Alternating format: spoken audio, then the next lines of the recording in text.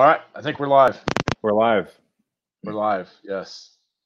Um, so Jackson and I have been wanting to visit about uh, rangeland or not ran- or conservation in whole, sort of, and that related to um, ranching and farming and that kind of stuff. But Jackson, Jackson uh, was working with the Neighbor- Nature Conservancy when I first met him, and was doing some really cool things with uh, different strategies to make um, ranch lands more attainable for any type of rancher. And so I'll just let you sort of introduce yourself, sort of say what you uh, have done in the past and what you want to look forward to doing too in the future, and uh, just anything Sure. that, uh, yeah. Sure, go for it. Um, yeah, my name is Jackson Moller. Um, I've got more than a decade of experience with conservation um, work, uh, government agencies, nonprofits, private industry. Um, the last five years or so with the Nature Conservancy in Colorado. Um, and I think I was a, an oddball in the land protection world because I, I felt like uh, closing day is something that that folks usually celebrate in land protection and for me um, it felt like opening day it felt like now we've got this great relationship. Um, how right? Like how we're partners now. Um, i need to find resources for you to make this um, more appealing financially and other resources with universities. And, and just i felt like um, it was the beginning of a beautiful relationship. Um, and as rich you were talking about um, I think a big a big issue is just getting folks started. I, I feel like there's a lot of people that have that pipe dream of starting a ranch um, or starting a farm, um, but there are a lot of folks, and we've met a few on LinkedIn that that have the the college degree and they're they're doing like part time work um, on the side, and it's just it's not affordable to be able to um, have a place of your own. You can you can be the the ranch manager, but to have your own piece of land is, is really difficult. And so I was working just on a lot of kind of pilot um, projects on how do we make this land more affordable. I lo- can, is it? Can we walk through the uh, pancake? Is that the right place? The last one of the last big projects you worked on? Oh yeah, um, there were a few. There was one. Uh, Fisher's Peak was a state park, um, but there we had other projects where we were looking to um, be a short-term owner. The the Nature Conservancy in Colorado be the short-term short-term owner um, because we could uh, move faster than um, than than other organizations, right? So we uh, if there's a distress sale, we would come in and buy the ranch, and we'd put a conservation easement on the property, um, which lowers the the price of the real estate. And I can talk about that a little bit if you'd like, just how it works. Yeah, well, let's we'll get to the easements here, but let's uh, I think that I when I first met Jackson, I said to him uh, because I, we have a history with the Nature Conservancy in that part of the world. Yeah, yeah, it was it was it's interesting uh, dynamics since from the 90s until now just in Mm-hmm. Yeah. a 20 year span and what i Yeah. said when i met jackson i said man i can't believe i'm sitting across from the nature conservancy yeah. i said yeah. in the 90s you guys were the villains and now you're the heroes and especially in regenerative agriculture what nature conservancy's new approach is Yeah, that I've seen is really to enable lots of conservation conservation minded programs and Mhm. people that are conservation minded and help them to succeed also. So it's not Yeah. just uh, uh, focused just on their internal organization, but yeah, on all those surrounding lands. And yeah. uh, so if you want to speak to Yeah. that a little bit, Um, a couple things. I mean, we, everybody's learning. Hopefully, hopefully, you're you're constantly learning um, just of, of what works and what doesn't. Um, I think in the past, conservation organizations kind of you know those dioramas when you're in elementary school, um, where it's just like here's like this museum, and we're just we're not going to touch it. It's just we're going to put a little glass jar over it and and watch uh, nature blossom. And we're we're finding that that's not the case, right? With all the research that it needs to be worked, it needs to be used. Um, nature is a, a pretty powerful element, and then also, as you know, with with with any organization, the organization isn't the entity, right? The the organization is made up of individual people, and an individ and and especially whether it's you know the state uh, you know division of of fish and game or an oil and gas industry, right? There there's people that are uh, movers movers and shakers of every organization. There's people that are like innovators. There you know, um, so I wouldn't judge an organization you know just by one character, uh, right? Right. and that sort of leads since I'm terrible at scripting anything out, Yeah. I'm not very professional at uh, doing these. That does lead me into an interesting segue. What I wanted to talk to you about, yeah. and um, so what I've learned since I got into ranch real or real estate, and focusing on ranches, is the people that are shopping around for ranches have one of three baskets that they're interested in. Either it's a lifelong dream; they've always wanted to own a ranch. Mhm. They want to hunt on it, so they want to have that exclusive hunting property. Mhm. Um, they're either ranchers that are like doing a, no, I forget what the number is, the 1030 exchange, hmm hmm or maybe moving out of a place that's less uh, development happens and it crowds people in agriculture into different places. That's a reason for moving to ranch. And then Yeah. there's the conservation side of it. And as I've been doing spreadsheets and running numbers and exploring what really where the heart of the value of a ranch is, is become is started to dawn on me that it's sort of a mix of all three. Absolutely. And if you are uh, just um, focused on one of them, I think that more often than not, your experience is not going to be as holistic as if you, and that goes for people that ranch Right. currently. There needs to be this broad overall picture of uh, Right. conservation, uh, recreation, because I think that Yeah. what we'll find is hunting's just sort of uh, entry.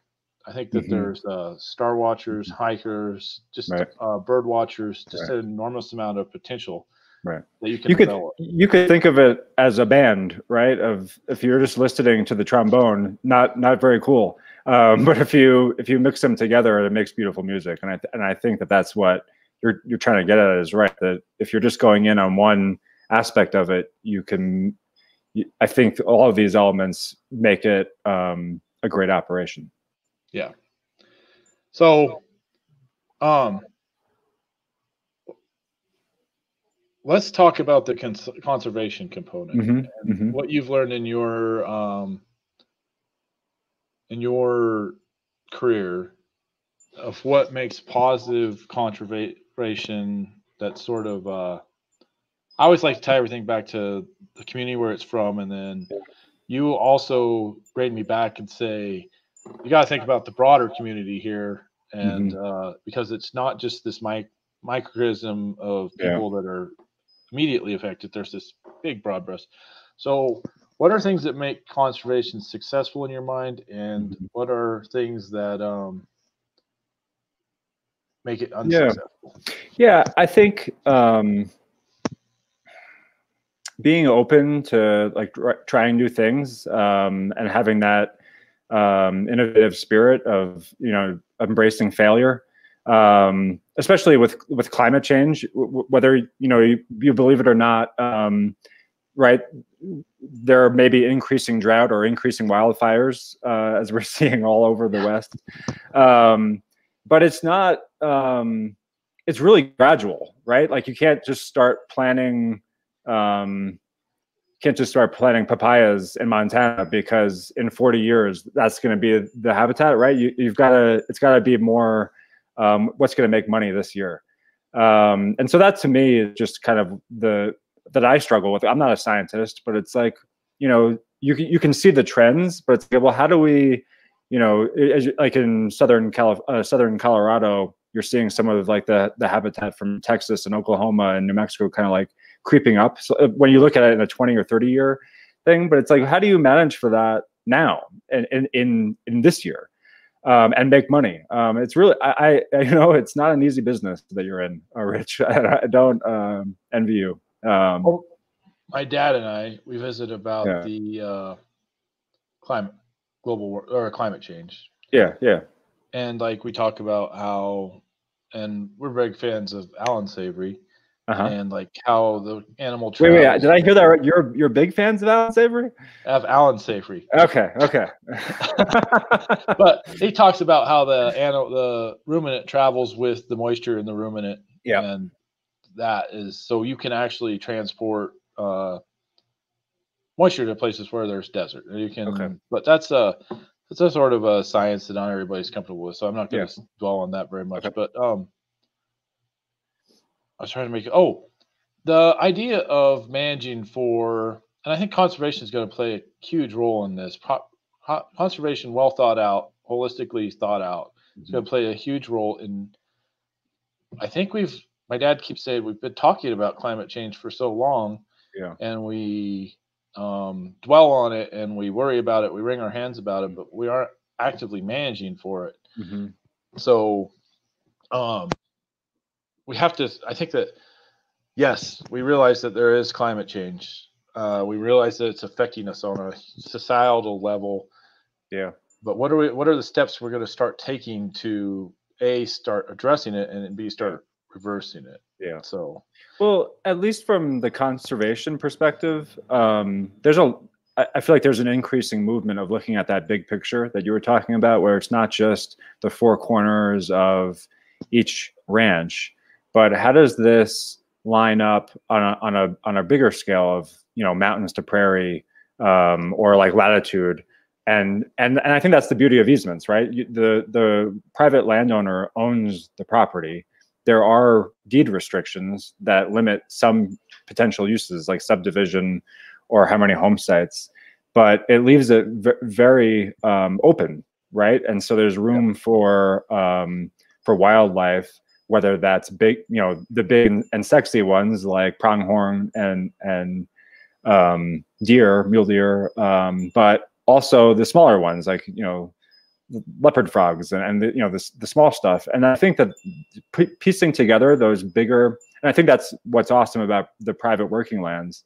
I think it's almost a billion acres of of private working lands in the U.S. Um, which is which is tremendous, right? And and it connects all those public lands that we that we know and love. That everybody's recreating on the weekend, right? Like Yellowstone and and um, Rocky Mountain National Park, and and so the connectors are these private working lands, and I think that that's uh, and least for the conservation perspective is how do we how do we make big linkages in these privately owned operations where animals, plants and animals can move with the changing climate um, and get the the habitat that they need. And I, I and I think on the private landowner side, and this maybe you don't agree. Let's talk about it. Um, but I, I see that there and, and I and I fall in this category. It's like, oh, I'd love to have hundred acres uh, to have my you know private little domain, um, but those those that fragmentation is, is really destructive to wildlife habitat. And so looking at these bigger operations, there and, and, it depends on where you are in the country, right? In Col- in eastern Colorado, we're looking at you know five thousand acres, fifty thousand acres, b- big open spaces. Somewhere like Vermont, um, you're, you're not talking about that size. Um, you're talking smaller. Um, uh, but I think that the just like having that fragment and, and, people talk about development pressure. It's a different kind of development pressure in these in this ranch world, right? Like if you have a five thousand acre ranch and you split it up into a bunch of hundred acre ones, that's that's a that's a big issue. Um, that all that fencing makes it difficult for a pronghorn to to move around and, and roam around. Um, so we, we are looking for and I, and I think it makes financial sense as well. It's it's hard to make a living when you're when you're on that scale of the, the smaller scale. Yeah. Yeah, and I think that visiting with you has really brought it to the fact that like there is that public so public there's that access to public lands that just uh, we have not been able to cultivate in um in uh private lands. And mm-hmm. so the intersection i see is there's uh we have we have all this opportunity to allow people to experience our public our private lands and uh, give them access and that kind of stuff. And we just never looked at it in that part of the way and it wasn't until I met the land trust uh, Nick DeCosta. Yeah, yeah, yeah, yeah. And he started really opening my mind to the potential of it. And that honestly, I did part of it for the economic reasons of doing Mhm, it for it mhm. because it's always nice to have another revenue stream. It Sure. creates a little bit of a resilience in a company. But Mhm. I honestly really enjoy having guests and talking to Mhm. people and Mhm. educating people about what we're doing. And especially on the flyways that we live on and that kind of stuff, and to show them, look, here's here's cattle coexisting with hundreds of thou- hundreds of thousands of birds set sometimes, and uh, Yeah. they don't bug each other that much. So, but but that Yeah. that comes back to that. This is the core of what I want to visit with about is the easements. Mhm. Um, and I Well, think that the I just wanted to echo your customer service business that um, having I think having the that meaningful uh, access to your property is uh, when people think about a public access. At least in my mind, a few years ago, I was thinking like right like open like trail use of like uh, open space park. But there's such a wide variety of public access that you know it could just be one weekend a year, right? Uh, it could be right, and so I, I just I feel like it's up to the private landowner of what, what right. What do you want? What do you, what do you what are you comfortable with? But that that goes to that overarching component of that should be part of your operation, hmm the educational part of it, because beyond just getting the money from those people, you're also learning from them what their what they Mhm. what their preconceived notions are, Mhm. and you're able to tell them how you see the world, and it just makes for. Mhm. I've never walked away from one of those relationships not having gained something. And you, So- you potentially have a, a more powerful advocate than yourself, right? These people telling your story is more believable than than you pitching it to some unknown person, right? That they're pitching it to their family and friends, and Yeah. like you won't believe this guy Rich. He's doing amazing stuff. Um, It's So a- it's pretty powerful, yeah. great to have the advocacy Mhm. and it's it's a relative it's just so rewarding to develop those kind of relationships it's just Yeah. and uh yeah jackson worries that i uh not very good at developing relationships Yeah, I, I mean, I feel, I feel like I've seen you burn a bridge or two, uh, in, in our, in our time together. Yeah, yeah. uh, but i do value it so Yeah. um Yeah. no uh but that sort of rolls into this this i like i said jackson always makes me think really have this great really made my mind grind about the easements. And he has some fears about where easements are going. But i think that easements are such a uh a integral part of the future and education of the general consumer because like I, most of the time when i filter this i'm different than most ranchers because i filter it through an integrated standpoint so i Mhm. i talk to the the the consumer at the store Mhm. and have many different call up and down the supply chain so i understand from one end how important it is to tie those easements back to the the pr- person that's buying the food that you're raising on your operation Mhm. so can you speak to like some of the creative strategies you've used with easements? Sort of some of the um, what are the worst possible outcomes that might be in the future of easements? I Mhm. see now there's some other people that are worried about three um, the exchanges, the easements. There's a lot of uh, uncertainty out there. Yeah.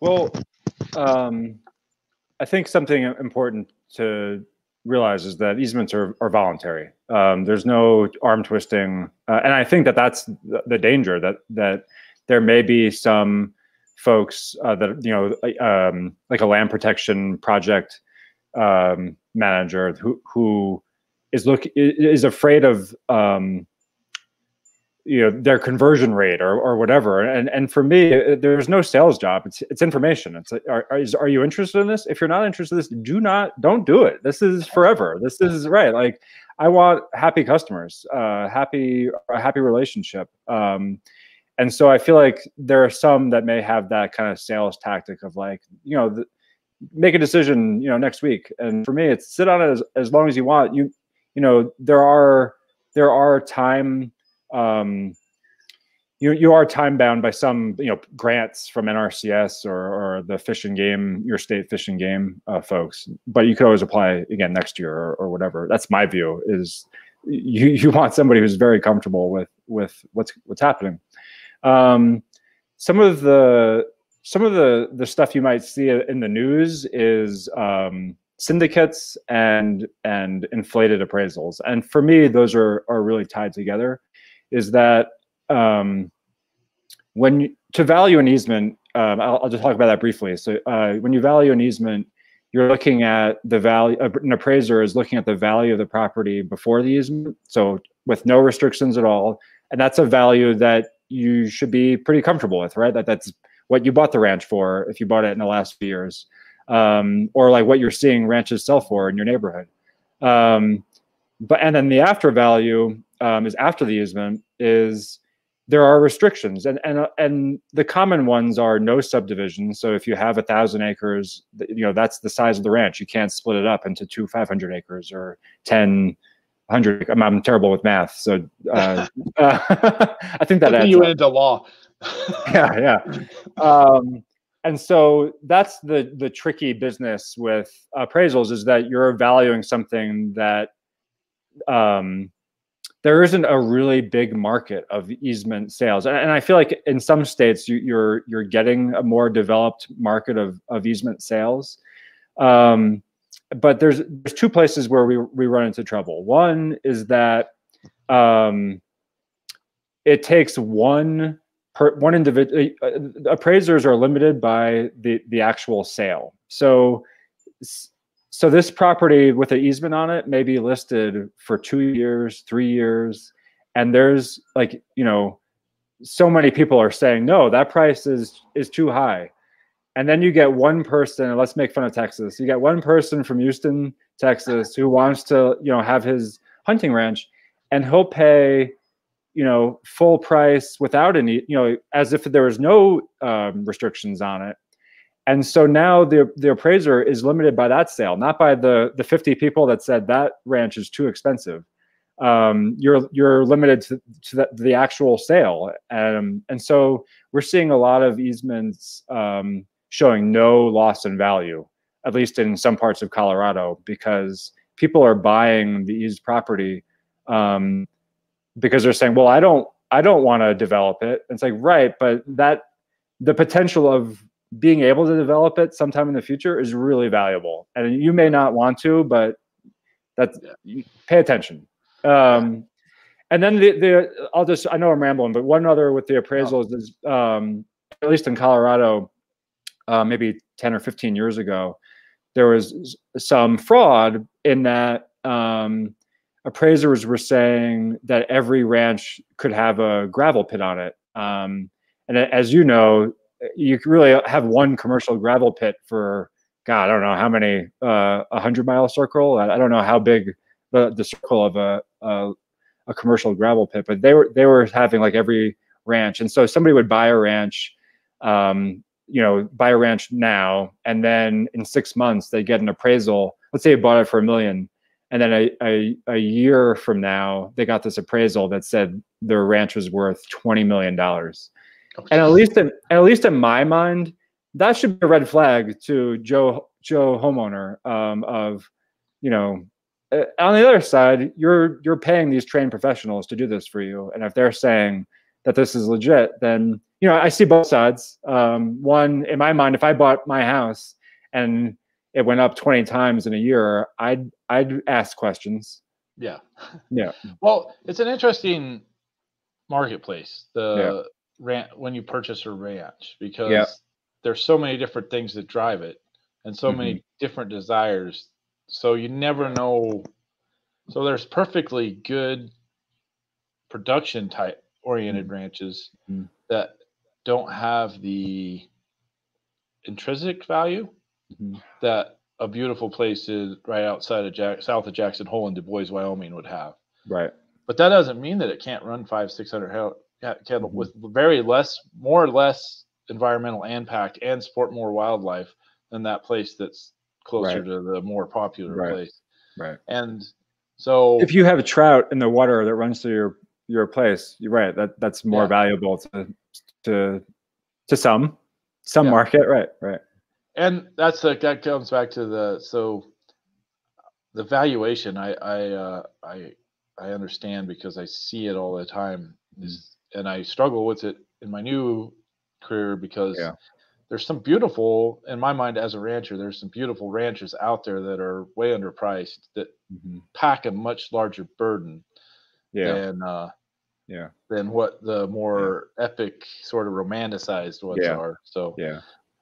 but I think that that's right. The the str- uh, in Colorado, that's a struggle, right? You can see, you can see the mountains from these ranches, and, and it gets people um, that right that romanticism that um, you know I can go skiing. I can take an hour and a half drive and go skiing, and, and you do- and you don't get have that in Kansas. Uh, sorry, Kansas. Uh, sorry to pick on you. Um, but and I think that's what we were saying with the, the, the access to land um, there are some properties right that that may be more uh, that have a higher carrying capacity that are less expensive just because of that you know, those mountain views um, or or or your distance to um, like a resort community um, like Boulder or Steamboat. Yeah, um, and so yeah a, a couple of innovative just kind of ideas that I that I was working on and that I, I'm I'm continuing to to brainstorm with folks.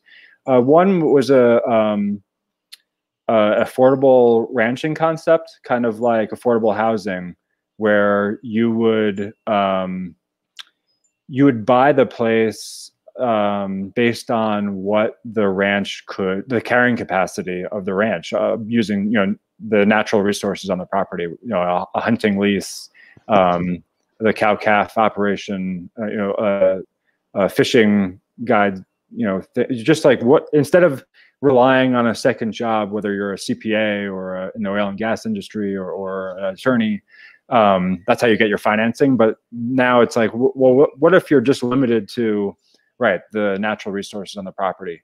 And I know that there's a, a couple of pilots that are, you know, we, we've gotten a, a couple of appraisals on that. And as you may imagine, the the that spread between the before um, before the easement and after that kind of an easement is really really large. We're talking 80%, 90%.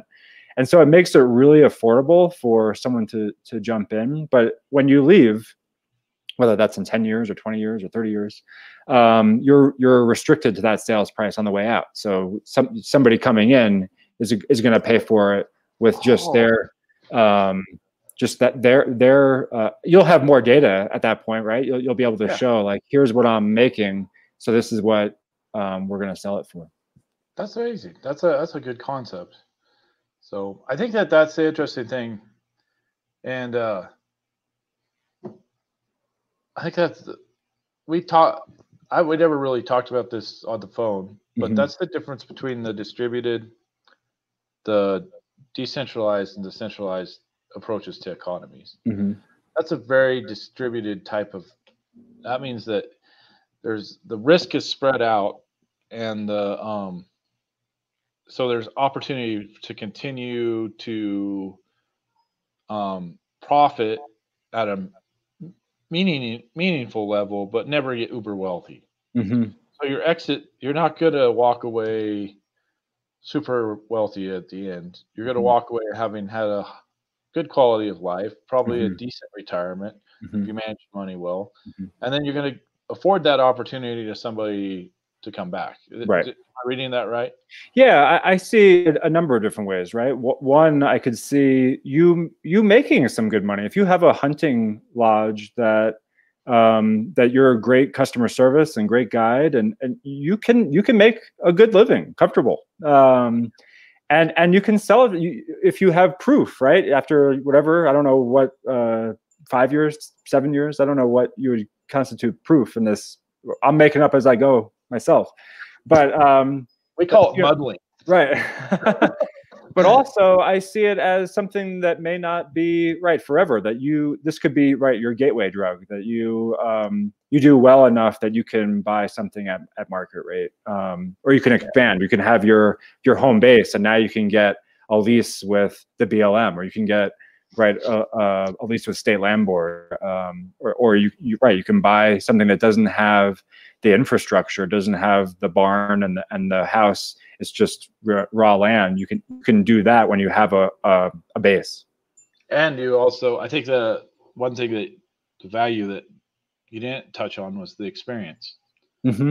You have Mhm. a good, safe place to experiment, fail, Right. and recover. Right. And then as you mature, then you're going to be Mhm. able to take on a riskier Right. acquisitions and grow your numbers. And like, That's a great point. Yeah, I failed three times. I have three. This I'm on my third cattle herd. So Some of my biggest successes are failures. I think we need to we, we need to embrace the, these failures. Right. yeah.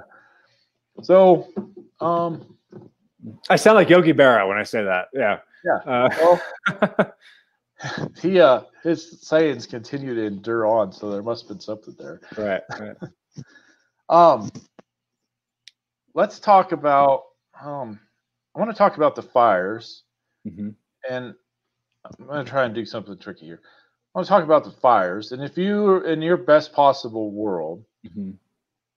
you think they could have been make, we can start mitigating these things through conservation through these creative easement financial structures um just general awareness how it i i see it as this all this giant web and that really if we start focusing on some of these conservation issues maybe we can start solving some of these problems Yeah. yeah Yeah. I, Yeah. that's a I mean, very open just make up yeah, any answer you just- want well, I feel like with conservation, with land management practices, you can reduce fuels um, to make less severe fires. I, I think, um, and I don't. I'm not a fire expert all over the U.S., but that, that's you know from um, the fire folks I know that that's um, something that's talked about. Um, I did earn my red card um, a few years ago, and it's I think it's, it's a great experience for folks. Um, it takes you know like a week uh, you know of, of online learning you know a couple hours a night and then one weekend of doing the the strenuous uh, pack test um, and that kind of stuff but i learned a ton from that from that class from that experience um, and and so yeah i think with i think another thing is just communication with with like your neighboring ranches and just like having like a and, and talking about it and having like a um, whether it's wildfire response plan for for the for the, the neighborhood or um, prescribed fire plan for, for and it's that way you can you can manage as you were saying in in chunks of 100,000 acres or 200,000 acres instead of right 5,000 acres at a time you you can you can when you have that kind of communication i think that th- there's better outcomes what do you think Yeah, I do. And I think the more people that are trained, um, and the bigger, instead of, it's interesting. A lot of insurance companies now will um, finance, will pay if they have enough enough assets that they're insuring in one region. uh-huh They'll actually go out and hire a fire pro- fire, crew. Is that right? yes, cool just to be dedicated to that piece of uh, ground.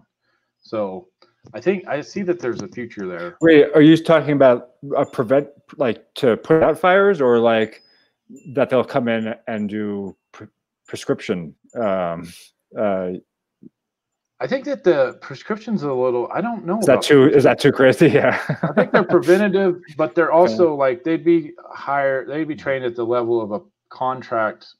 Uh, Oh, of like okay, okay, I see what you're So- saying. Yeah, I, th- I I think this is a good segue into this point. Is that there is just a tremendous amount of schizophrenia in fire policy in the U.S. It's, it's incredible. Like there's you know like we need to do um, you know prescribed burning and, and like managing fire, but then like we need to put out fires immediately. And so it's just um, it's tough for me. I, I'm not again. I'm not in this space uh, um, full time, but it's just an, it turns interesting to watch um, that kind of um, conflict. Well, interesting. So fire for ranchers, like some people burn their fields, but they don't really do this wide scale, really prescriptive burning. But then I was looking at some of my soil blocks that I pulled out of. Uh, uh, we cleaned up a ditch, so we got pretty deep in, and Mhm. it dried out because of the composure of it. And there was flecks of uh, charcoal in it. Uh, that's probably part of the system it's probably important to have that charcoal in there. So I'm not saying you got to be out there burning every year, but it's probably Mhm. good to schedule preventative burns along the way. because I think it's just a natural process and Yeah. like the it's part of the holistic mo- management model. Is Yeah. is is prescribed fire um what's the word for it is it um accepted in oregon Uh, let's say pre-wildfire season of 2020 um because i feel like this is a setback right um it is yeah. uh, yeah. It's an interesting dynamic. The season changed so quickly.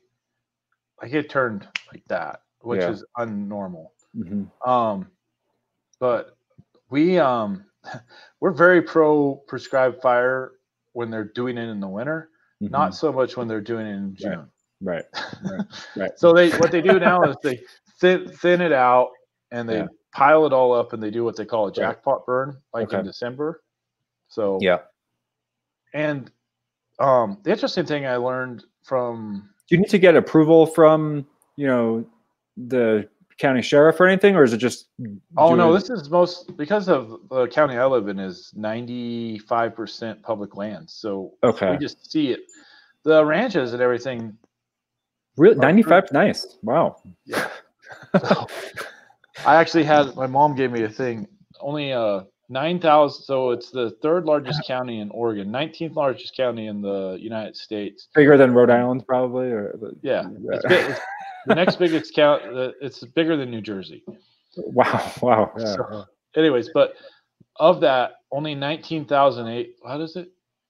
I think their numbers wrong, but it's less under a hundred thousand acres are pr- in the Wow. tax base. yeah. So- yeah. The entire county Yeah. tax structure is packed by the private lands. Wow. And well, I mean, there's all sorts of different ways taxes come in, Yeah. but Right. for right. that tax base, there's Yeah. that's How many people are in your county in this New Jersey? thousand. Seven thousand in all of New Jersey. Wow.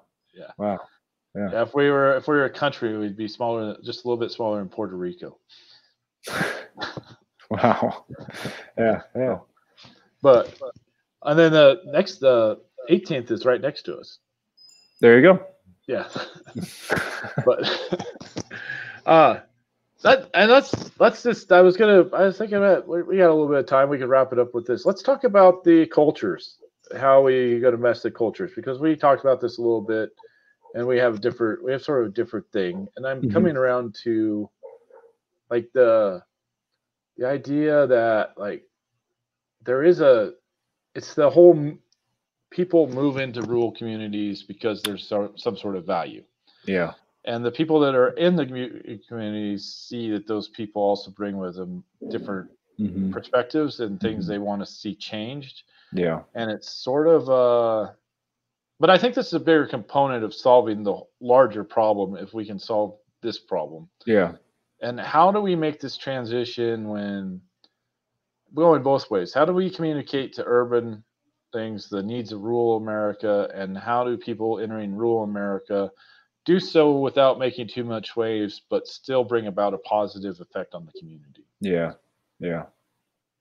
Um, you know, I've been thinking about this. Um, well, one, I started a podcast recently that's just trying to improve that kind of dialogue between ag producers and urban centers. Um, and, I, and I feel like um, my family is in, in Brooklyn and Chicago, um, and a few vegetarians and vegans in there. So just like kind of having that um, um, mental framework of of like some of those misconceptions of like you know if we just plant peas everywhere and we eat the pea protein we're you know and so um just like kind of just improving that and i think both sides need to improve their dialogue right of, of being Yes. open to that conversation but i think another is just um uh, that culture and I, I i don't know if it was you or micah that made the point of like you know when you're traveling to italy you know these people are saying like respect the culture you know we're not in america. And then but then they go on